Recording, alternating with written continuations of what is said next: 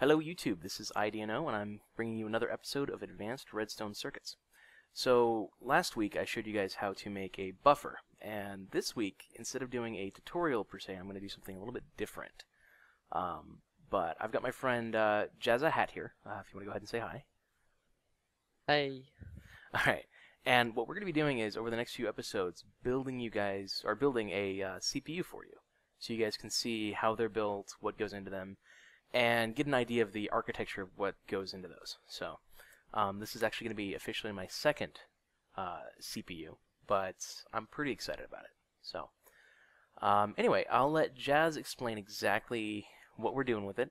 Um, he came with came to me with an idea, and I, I thought it was really cool. So um, go ahead and explain it. Okay, so we're going to attach some memory to the ALU, which is this big floaty thing here. And we will give it lines so it can do operations. All right. So Perfect. you could You could what? I really suck at this thing, but um Basically, it'll be twice as fast as our previous one, which was pretty fast to begin with. So, um, this is the ALU that we're starting off with. Uh, you might recognize it as the one from my tutorial from before. Jess. Bad Jess. Anyway, um, that's not that's not funny. Um, so anyway, the uh, this the ALU is it's the CPU is going to be 8-bit, and uh, it's got pretty much every opcode that we're going to need. Um, is this the shifting? yes, that is the right shift. Handy. I haven't covered this uh, for you guys, but basically, what this does is it takes the output of the ALU, and uh, it takes it. It says, uh, you know, cut this off, send the data down this line instead. So it basically takes the data and write or shifts the values over one. Um, Yeah, it's just uh, two-way mux. Yeah, it's it's really simple. So I'll show you guys exactly how that works right now, actually. Uh, so you know, normally that mm, that value would go through there. Okay, and then if you turn this on, what happens is um, alright, that's I don't know why I thought that was going to work. All right, does this? So basically just sends the value down the you know the bus to the right. Um, you don't need to do two of them because, you know, to shift left, you would just do this. It's just A Yeah. plus A or 2A or so you get the point. yeah. If you add if you add a number to itself, it shifts it to the left one. Um, very simple. So, anyway, um, let's go ahead and probably start laying out the architecture here. Um, so what goes into this is we're going to have two ALUs um, muxed together with logic controlling each of them. I believe is that right? Uh, you, do you want to do that? Or why is that how it works? I thought we'd just make simple one, but Oh, simple one? Yeah, that, that's fine. We can do a simple one. Yeah, okay. So this is just gonna be a simple CPU. Um, faster than what we did before. Hopefully more efficient too. Um, yeah. Okay. Um, so we're gonna need a comparator. Let's throw it back here. Comparator. to- Um, Yeah. I wanna build that can remember how to build that. Sweet. Okay.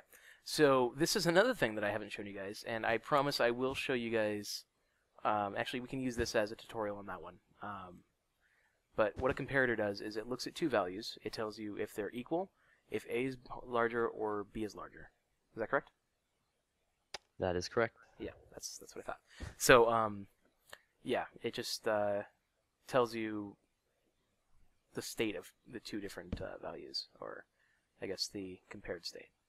Anyway, I should be doing something too. While you're building this, um, did you want to use the uh,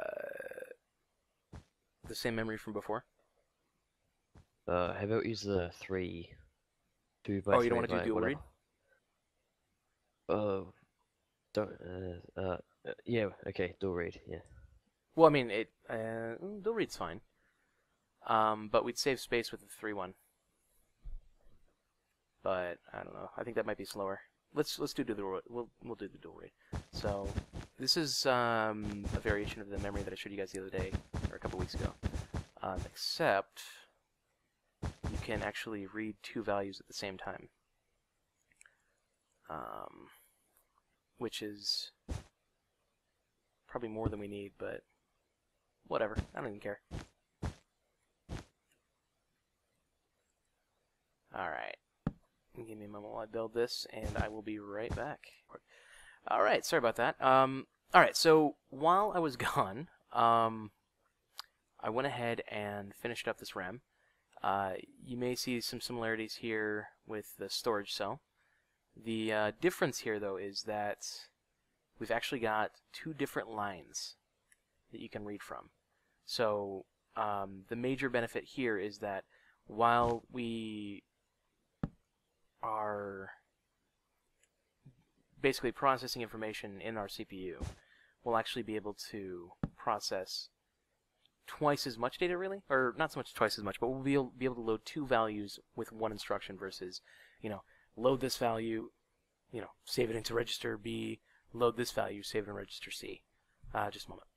Sorry about that. Um, but yeah, so you can load up two values with one reg or one instruction rather than doing it multiple times, which saves you time overall. Um, so I'll demonstrate this being used right here. Um, so let's save a 1, or a 0, sorry, this is 0. And, no, it's a 1. Uh, it's a 1. Alright, so you'll notice if I get a lever. Lever, pulling levers. Alright, so we turn that off, that value goes through there. That's A, and this is B. So if we turn this off, goes through there. Now, if we power this, okay, that works. And set that value. Then we go like this. That doesn't go through. And this one should do the same thing. So, so you can see it's a uh, really compact dual read RAM, but um, it's going to allow us to, to use pretty decent amount of data. Um, the other thing that happened is that we had a design for a comparator and seem to have lost half of it. So Jazz is in the process of actually redesigning that. Uh, so hopefully we can get it back to the way we had it before because that was a really nice comparator. I enjoyed it because the last one, you know, actually while you're doing this, let me show off our old one so, so people get an idea of what we're making. Uh, go home. I pasted this in earlier today actually. Um, okay. It's a lights out game. Made that yesterday. Got bored. Decided to make myself a game. Alright, so here it is. Um, it's not too big. I mean, it's kind of big, but it's not huge. Um, there are definitely, you know, CPUs that are bigger out there that are that do less than this one. Um, but you've got the memory over here, which is actually what I just built. You guys will recognize that. Um, I think we did 16 bytes of memory, dual read. And then our old comparators in here, it's the green wall. Um, that's what Jazz is building right now. Here is our old ALU, and you actually should be able to see it is eh, a little bit longer, significantly longer than our new one. Shorter, but longer. Um, and more importantly, slower. Uh, so it's the one we're putting in right now is going to be, I think, probably three or four ticks faster, which should help the overall speed of the CPU significantly. Um, up here is something I haven't shown you guys yet. This is a random number generator. And uh, basically what this does is when you've got a value, or when you need a value that's not pre-decided, like a random value, this will uh, throw it out for you. Um, let's go ahead and turn that on for a second. So that's going to do that. and you can see that it generated these two numbers right here, which then output to here, and give us this real quick. Um, I will be right back. Alright, so, um, sorry about that, guys. Uh, uh, basically, yeah, you can see the value right here being output. Um, it's, fairly reliable. You get a different value pretty consistently. Um, let's see. Uh, it's the same value. I don't know. It, it worked before, so I'll be. I'm going to be designing a new one because I don't much care for the one that's in here now. It's small, but it's it does tend to do that sometimes. Uh, what else we got here? This down here is uh, actually these are specialized. Um, what are they called? Specialized serial encoders. Sorry. Brain kind of crapped out on me. Um, but yeah, no, so we were going to have uh, serial output from the CPU to interface with. And uh, this was it, basically. This, you know, we had some, some memory latches going into the encoders, which you should recognize sort of here. Um, they're very similar to the ones that I showed you guys. Which, by the way, Jazz, you, you designed those, right? Uh, sorry? The serial encoder? The really small Uh, one. s- Ah, yes, probably. Yeah, yeah. It was him. Um, he's uh, very good at making small things. So, it's, it's pretty cool. Um, what else we got here? This is the shifter that we had on there. Um, that I showed you on the other one. We've got the encoders for the memory. Uh, this actually requires three, you know, one for the B read and one for the A read, and then also one for write. Um, this is program memory, and th- this is used for is you've got opcodes that do specific things, like you know, write to specific locations, um, read from specific locations.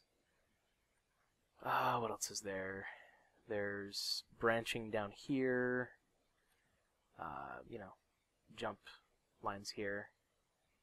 Um, yeah, so we've got tons of opcodes here. And then over here, this is our counter. Okay, so this is our counter and uh, clock. Um, it's got branching from the values in here. So you can actually say, um, I want this to branch after the 10th uh, iteration. So it'll branch to the um, whatever location that you're set to to go to this. And uh, so you can get some pretty cool programs done with that. And if the value goes in here, and the second this thing, you know, this clock goes off, then it'll say, it'll basically reset and set it to whatever whatever value's in here. Um, so that's really cool. Um, this is basically the entirety of the CPU. All of this busing and the gray busing in here is just busing for control logic. Um, I mean, you really these these lines right here, you're able to input values directly, and uh, these ones right here will store in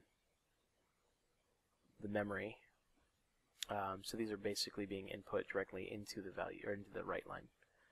Um, or sorry, the read line. So it'll go straight into the ALU. Sorry, actually. Um, what else is there? I think that's pretty much it. Um, anyway, I mean this this is I like it, but I'm excited to see what our new one's going to turn out to be like because um, it should be overall significantly faster. Um, so anyway, let's go back and check and see what he's done. All right, sorry about that, guys. Um, so we've tinkered with it, and I think for the most part this thing is done. Um, it's obviously not 8 bits, but this is our comparator. Uh, it's very fast, and uh, I will demonstrate it to you now. So this top row of levers is the uh, A line, bottom row is the B line, and then our output is over here. We have three possible states, equals in the middle, off to the right you've got uh, A is larger, and to the left B is larger. So I'll show you right now. Uh, perfect, thank you, color coding. So put a value into A, A is larger, values are now equal. Okay. And B is now larger. There you go. So that shows how the comparator works. Um, it, it shows that it works. It doesn't really show how it works. Um, I will do a tutorial on building this so you guys can see it. Um, I kind of want to brush up on it myself so I can actually give you guys the information properly. So um, probably expect that in a few weeks or so. Um, anyway, this video is is running very very long. So what I'm going to do is uh, I'm going to go ahead and cut it short. I know that we don't have a lot of stuff built here right now, but we actually do have quite a bit done right now. Um, we've got the ALU, the memory, and the comparator. All that's really left is to kind of lay out stuff and build some other components, then bus everything together. So um, the busing is going to be the, the biggest fun part. part.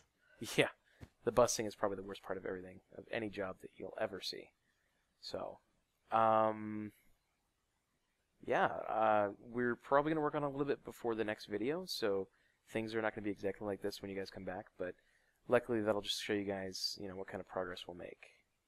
Um, but I want to thank you for watching. If you guys like the video, subscribe or comment. Um, if you'd like to see more of Jazz and his work, go ahead and let me know. Uh, I'll see if I can convince him to do some stuff. But um, yeah, um, yeah. Thank you guys for watching. You, yeah. Anything you want to say? Uh, thanks for watching.